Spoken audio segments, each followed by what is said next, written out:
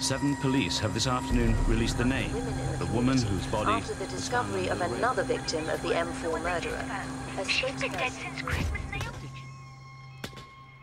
My name is Ronald Stocks, Assistant Chief Constable, Crime. We are about to embark on what may well be the most important case of your careers.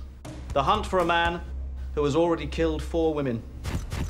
Three in Wales, one in our fair city. The only way we're going to get this bastard is if he slips up. So, two teams, one goal. To catch this man before he has the chance to strike again. You're ashamed of it. That's not what it is. Nah, he's lived off horse before, haven't you, Iron? It's going to be a whole lot harder for you when I start asking you questions about the other women that I think you've had in your car. Make it in, Jack.